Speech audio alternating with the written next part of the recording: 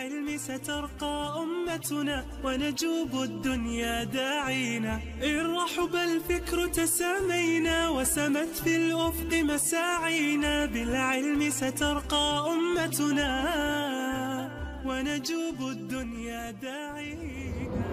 السلام عليكم ورحمة الله وبركاته. شباب لبس عليكم بخير. كنتمنى إن شاء الله تكونوا مزيان. تكون الأمور كلها على خير وبخير. مرحبا بكم في هذا الفيديو المهم جدا اللي غنتحدث فيه على واحد المسألة مهمة وسول عليها الكثير من التلاميذ عشرات ديال الأسئلة جاءت في هذه المسألة هذه واللي هي كتخص الامتحان المحلي. لاحظوا معايا هذا السؤال هذا من بين كما ذكرت عشرات الأسئلة. أستاذ عفاق قل لنا شنو هما الدروس اللي غيكونوا عندنا في الامتحان المحلي؟ يعني شنو هي الدروس اللي غتكون في الامتحان المحلي بالنسبة لكل مادة؟ لكن هذا السؤال هذا جاء بالنسبة لماده الاجتماعيات وهو كما ذكرت من بين واحد مجموعة الأسئلة اللي جاءت في مختلف المواد. يعني في كل مادة شنو هي المواد اللي غنجتازوا آه، شنو هي الدروس اللي غنجتازوا فيها في الامتحان المحلي. هذا الشيء هو اللي غنناقشوه الآن إن شاء الله. إذا نبدأو مثلا ماده الاجتماعيات. شنو هما الدروس اللي غندوزو في مادة الاجتماعيات؟ واش التلاميذ ديال المغرب كامل غيجتازوا مثلا ستة ديال الدروس في مكون التربية على المواطنة في مادة الاجتماعيات؟ أو أن كل مؤسسة مثلا واحد المؤسسة معينة اللي فيها خمسة ديال الأساتذة ديال الاجتماعيات مثلا الأستاذ الأول ديال مادة الاجتماعيات قرا ثلاثة ديال الدروس الأستاذ الثاني قرا خمسة ديال الدروس الآن كنتحدثوا على مكون التربية على المواطنة الأستاذ الثالث مثلا أربعة الأستاذ الخامس مثلا قرا ثلاثة ديال الدروس. اذا هاد الأساتذة كيفاش غيجتازوا التلاميذ هاد هاد الامتحان المحلي في هاد المؤسسة؟ إذا فهنا في هاد الحالة غيتعقد المجلس ديال الأقسام ماشي ديال القسم الواحد مجلس ديال الأقسام وغيتلاقاو الأساتذة ديال الاجتماعيات وغيشوفوا كل كل أستاذ فين وصل وغياخذوا أدنى أدنى عدد ديال الدروس يعني غيمشيو مع الأستاذ اللي قرا فقط ثلاثة ديال الدروس إلا كانوا هو اللي يعني الأستاذ الوحيد اللي قرا قل من أربعة ديال الدروس في المؤسسة. واضح؟ وبالتالي التلاميذ ديال المؤسسة كاملين غيجتازوا الامتحان المحلي في ثلاثة ديال الدروس مثلا في مكون التربيه على المواطنة. كذلك هذا في مكون الاجتماعيات بصفة عامة يعني في التربيه على المواطنة في الجغرافيا وكذلك في التاريخ.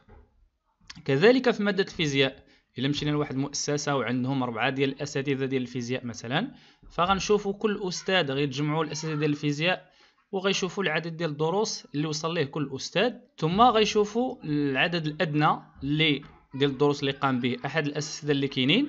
ثم غي هو اللي غيجتازوا فيه التلاميذ عموما في ديك المؤسسة. واضح لأن الامتحان المحلي كيكون كل مؤسسة وعندها الامتحان المحلي الخاص بها. إذا كنتمنى تكون هذه المسألة واضحة لأن ما كاينش امتحان محلي عام يعني المغرب كامل يدوز امتحان محلي أو الجهة كاملة. واضح؟ أو المؤسسة كاملة. إذا في الامتحان المحلي كيكون خاص بالمؤسسة والأساتذة هما اللي غيتفقوا عليه. غيتفقوا على العدد ديال الدروس بناء على كل أستاذ وشحال قرا. اذا كنتمنى تكون هذه المسألة واضحة.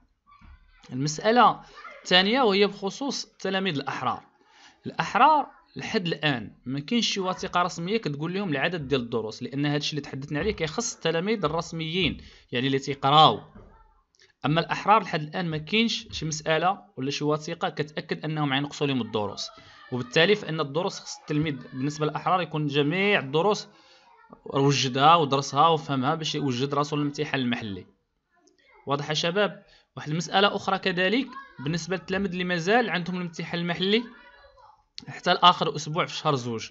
فهاد التلاميذ مازال غيقراو الدروس وفي النهاية راه المؤسسة ولا الأستاذ ديالهم غيخبرهم بالعدد ديال الدروس اللي غيجتازوا في الامتحان المحلي. وهنا واحد نشر واحد المسألة هنا أكيد أن كل أستاذ خصو يعلم التلاميذ بالعدد ديال الدروس اللي غيجتازوا في الامتحان المحلي. فما فيها باس إلا واحد الأستاذ نسى وما خبركمش مشيو عنده وبآداب ذكروه له أستاذ ما هي العدد اذا كان مثلا الامتحان المحلي في الأسبوع المقبل؟ مشاو عندهم سولوه أستاذ عافاك ما هي المواد عفوا الدروس اللي غنجتازو في هذه المادة ديالك اللي كتقرينا. واضح؟ وديك الساعة راه يخبركم بالعدد ديال الدروس. اذا اذا كان سؤال آخر إن شاء الله خلوه في التعليقات وإن شاء الله نجاوبكم. والسلام عليكم ورحمة الله وبركاته.